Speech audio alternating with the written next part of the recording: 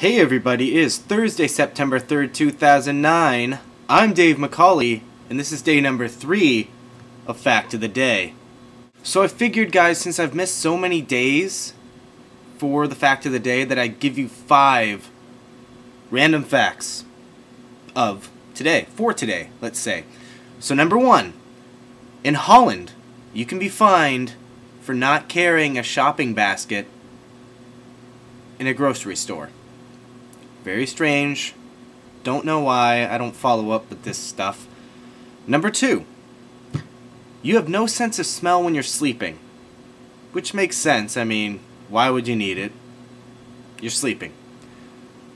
Number three, Yahoo, the name for Yahoo, was originally called Jerry's Guide to the World Wide Web.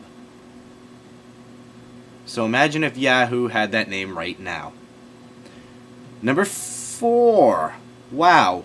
That's not four. That's three. Four. Sex is biochemically no different than eating large quantities of chocolate. Enough said. And last but not least, number five.